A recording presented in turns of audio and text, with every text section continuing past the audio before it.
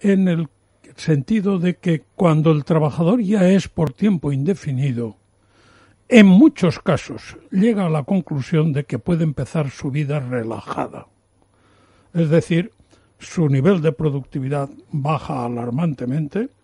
porque sabe que ya empieza a ser caro despedirle y por lo tanto el empresario tiene que hacer frente a ese coste adicional de menor productividad del trabajador fijo que tienes. Entonces,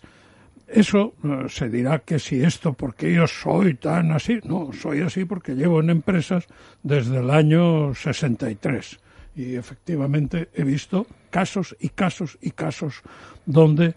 un trabajador era muy bueno, muy activo, muy muy diligente, muy muy productivo en definitiva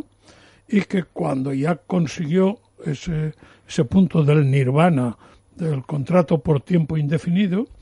entonces empezó ya a racanear, empezó ya a faltar los lunes, porque estaba siempre mareado los lunes, empezó a, a, a esas estadísticas que son tremendas en España, que son el absentismo.